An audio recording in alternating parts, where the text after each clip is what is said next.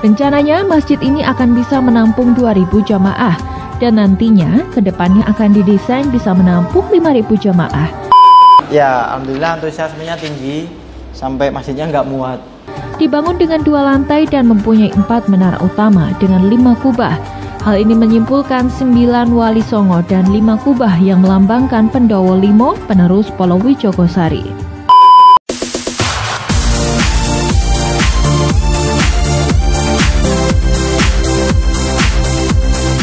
Pak Asmoni sinten Pak? Abdul Karim. Pak Abdul Karim. Pak kira-kira jenengan tahu nggak ada apa terawih gratis umroh itu Pak? Tahu. Tahu. Dari mana Pak infonya Pak? Oh dari itu dari Mas Rudi. Warga sekitar. Oh, warga sekitar. Oh warga sekitar sini Pak sudah pada tamu semua Pak ya tahu ya. Udah pernah nyoba terawih di situ Pak? Belum. Oh, belum ya. Coba Pak ke situ Pak ya. Ya. ya. terima kasih Pak. Ya, Pak, uh, asmane sinten Pak? Kastari Pak Kastari. Asli pun di niki Pak? asli Oh, dodo Pak, jenengan semerap napa mboten enten informasi terawih niku gratis umroh niku. Nah, enten Polowijo enten Oh, semerap nggih Pak nggih. Semerap, Nggih. Berarti jenengan dereng nate mriku. dari nate mriku sing mriku Oke. sing asal undangan iku rakyat kula wason ten niku Oh, nek menurut jenengan ya napa Pak? Iku eco napa ya napa? Ah, nggih cel luas ngono ane halamane Nggih, matur suwun Pak nggih. nggih Bu, ngapunten asmane sinten Bu? Duh mana? Bu Umana. Bu, ini wotan Bu ya. Iya, wetan. Bu, jenengan semerap enggak Bu kabar napa enten tarawih gratis umroh niku Bu? Semerap, Semerap. Niku jenengan nate mriku Bu salat. Dereng. Dereng, tapi semerap Bu enten kabar. Oh, seneng napa mboten Bu enten kabar ngoten niku? Seneng. Hmm, tapi dereng sambut mriku Bu nggih. De- dereng. Nggih. Eh, Bapak dengan siapa Pak? Topik. Pak Taufik. Pak tahu nggak ada info terawih gratis umroh itu Pak di daerah Sekapuk Wadeng itu? Nggak tahu ya, Pak. Nggak tahu Pak. Pak dengan siapa Pak? dengan Pak Imam. Pak Imam. Pak, Bapak tahu nggak ada kabar ini terbaru? Terawih itu gratis umroh. Dengar tapi belum jelas. Oh, tapi info informasinya nyampe ke sampean Pak ya? Iya. Sampean alamat mana Pak berarti Pak ini? Alamat Desa Gelade. Oh, Ngelati. Berarti dari Ngelati itu kebanyakan masih belum tahu ya Pak ya? Iya masih belum tahu. Nah, kalau misalkan ada kayak informasi seperti ini, kira-kira Bapak senang nggak sih? Ya sangat senang sekali bisa eh, apa sering sering sering terawih di sana. Waduh, oke, terima kasih Pak ya. Oke. Oke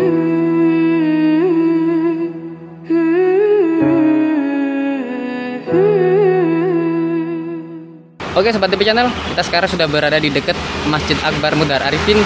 Nah di belakang saya ini sudah ada masjidnya, kalian bisa lihat.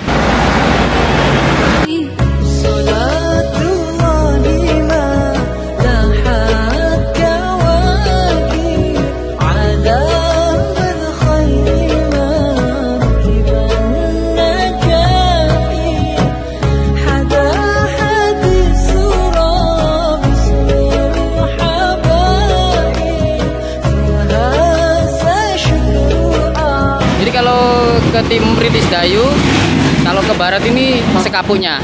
Nah masjidnya ini ada di sebelah situ. Kalian lihat itu? Itu ada menara. Nah, ini posisinya masih dibangun. Kita akan coba masuk ke dalam ya.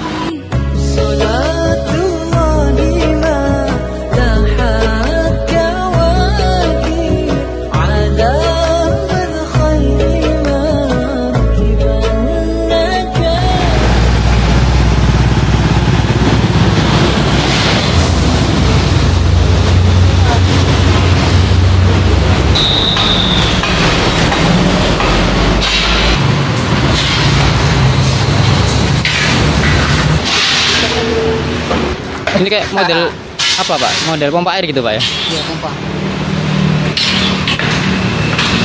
Kamu udah bawa sih?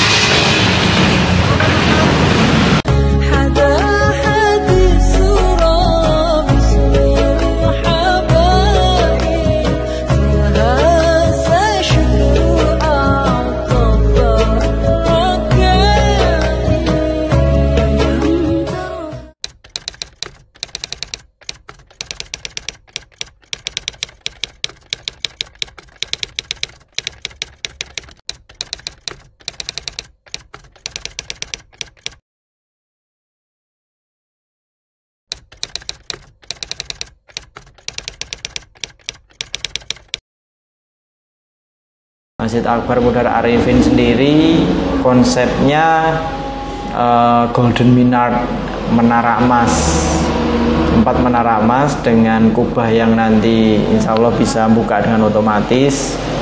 Uh, terus insya Allah pintunya emas juga dengan luas masjid itu 1,1 hektar luas lahannya 5 hektar insya Allah ekspansi ke belakang 40 hektar.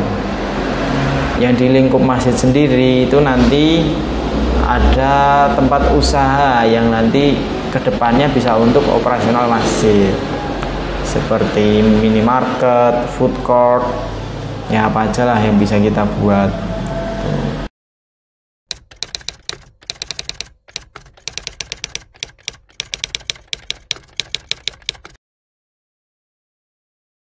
jadi pertama gini uh, berawal dari pertama kali datang di Gresik khususnya wilayah Sekapu itu kan kita melihat masjid. Masjidnya itu uh, bagus-bagus ya Alhamdulillah megah-megah mewah bagus. Tapi PR-nya jamaahnya nggak ada. Dan kalau kita mau apa ke masjid itu masih fungsinya untuk sholat saja. Sebenarnya masjid itu kan fungsinya untuk beribadah. Nah, kadang uh, toilet orang mau orang yang safar mau ke toilet dikunci. Padahal masuk toilet itu kan juga termasuk beribadah juga. Dari doa masuknya sama keluarnya juga termasuk ibadah. Nah masjid ini kita dirancang untuk uh, menjadikan rahmat untuk seluruh umat Islam rahmatan lil alamin. Jadi masjidnya itu uh, apa tujuannya untuk memakmurkan jamaahnya sendiri. Itu nah salah satu program kita uh, di Ramadan tahun ini itu yaitu programnya uh, Tarah Berada Umroh. Terus hadiah umroh pertama itu dari Mas Takmir Masjid tempat Syahrini menikah Masjid Jami Tokyo Alhamdulillah takmir masjid kita terintegrasi dengan masjid seluruh Indonesia dan luar negeri juga. Salah satunya Masjid Tokyo.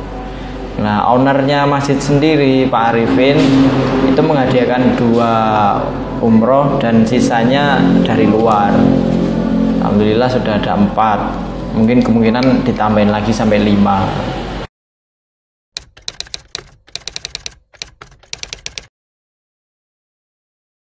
sistemnya absen pakai fingerprint. Jadi yang karyawan udah ada fingerprintnya yang dari jamaah dari luar dibantu untuk mendaftarkan satu persatu. Sudah ada customer service yang siap membantu untuk mendaftar.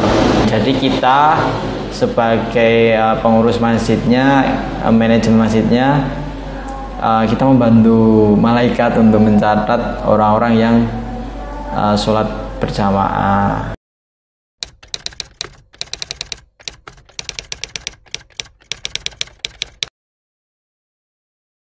ya nanti untuk tenis pengundiannya bukan pengundian sih itu yang sering berangkat dan datang di awal.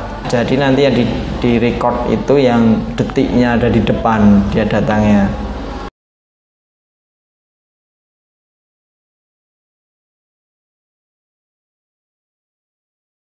Uh, yang berhak itu kriterianya mubalik yang sudah balik. Itu kriteria utamanya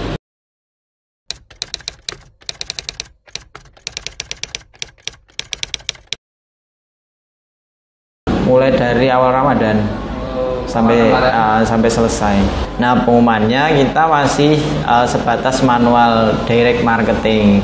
Kita juga baru pakai konten Instagram untuk kita sebar pamflet pamflet ke warga sekitar radius 5 kilo sampai 8 km itu ke pasar ke tempat-tempat keramaian ke warung-warung kayak seperti ini nah seperti ini